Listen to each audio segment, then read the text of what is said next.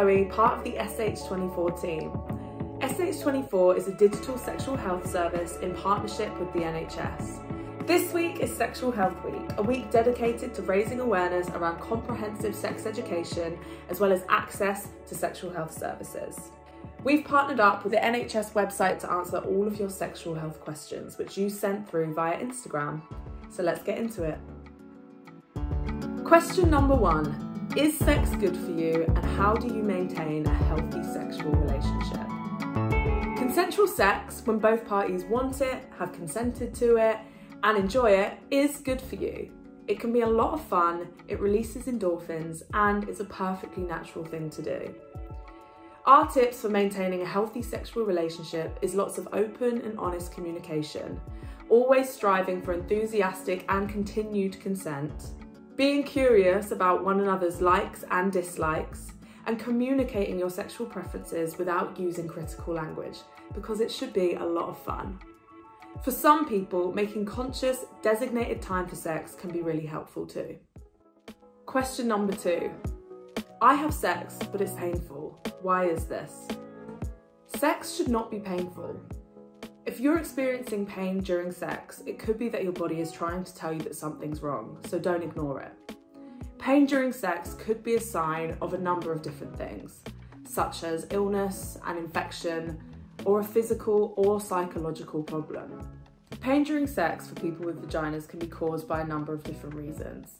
An infection such as thrush or an STI, the menopause where changing hormones can cause vaginal dryness, a lack of sexual arousal at any age, vaginismus, a condition which causes the muscles in and around the vagina to shut tightly, or genital irritation caused by an allergy to a spermicide, latex, or a scented soap or shampoo.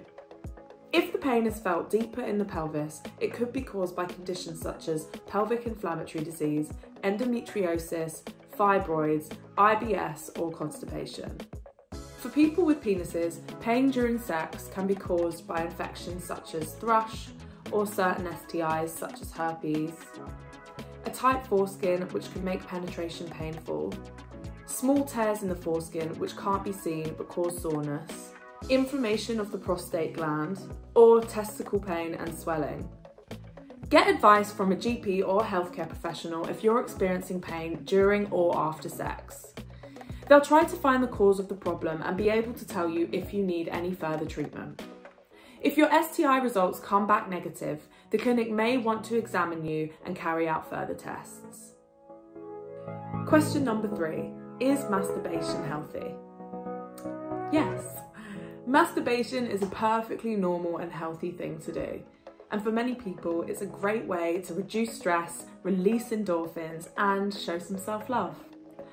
As long as it's not affecting your life in a negative way, such as stopping you from getting on with daily tasks or negatively affecting your relationships, masturbation is a perfectly normal and healthy thing to do.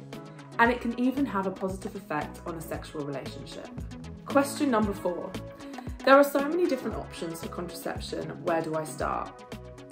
There are many different types of contraception, such as barrier methods, like the internal and external condom, the diaphragm and the dental dam, and hormonal contraception, which is the combined pill, the progestogen only pill, the patch, the ring, the injection, the implant, which is inserted into your arm and lasts for three years, the hormonal coil, the IUS, and the copper coil, the IUD. Permanent methods are the vasectomy or sterilisation. It's important to remember that barrier methods are the only methods of contraception which protect against STIs. So if you and your partners aren't at risk of getting pregnant, you will still need to use barrier methods to have safer sex. Which method is right for you really depends on the individual. You can start with any method of contraception and see how you get on.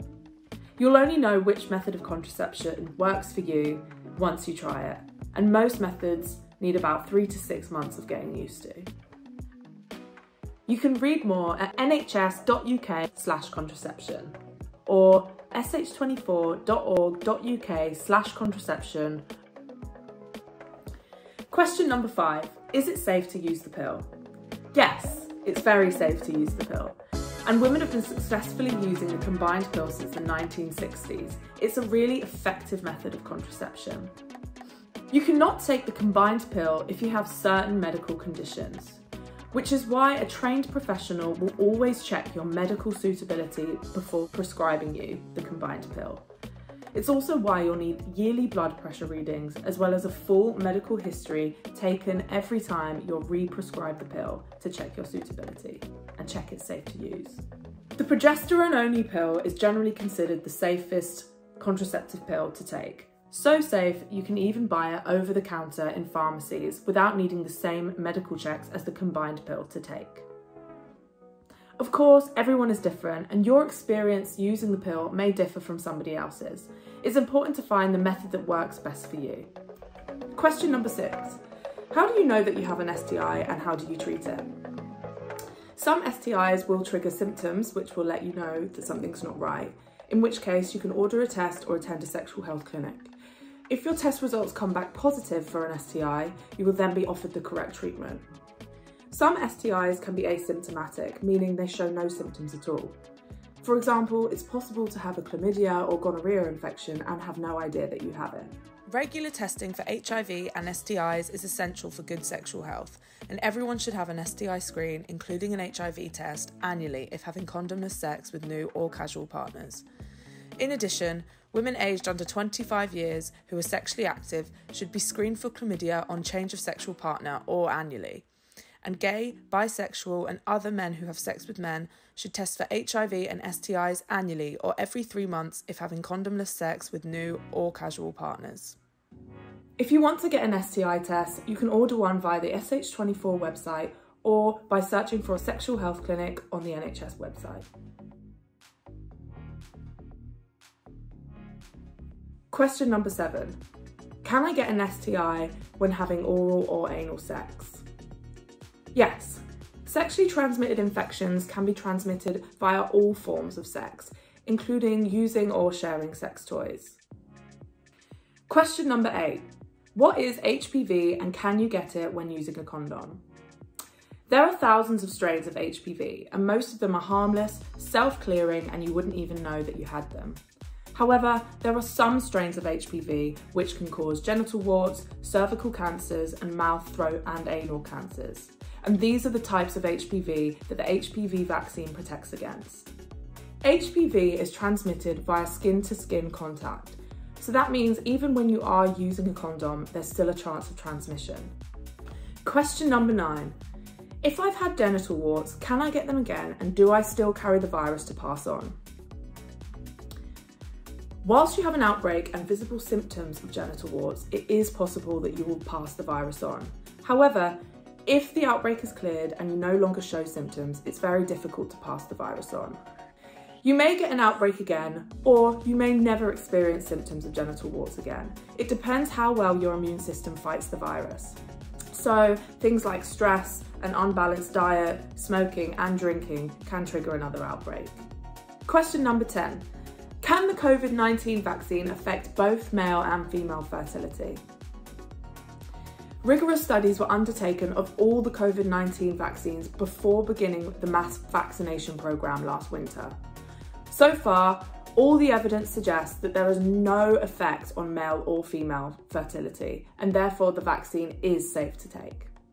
Thanks so much for listening. I hope we answered all your questions and cleared up a few things for you. If you want to learn more about STIs, testing, contraception, or anything sexual health based, you can head to the SH24 website or follow us on our social channels. You can also head to the NHS website's dedicated sexual health pages on STIs, contraception, and all sexual health topics.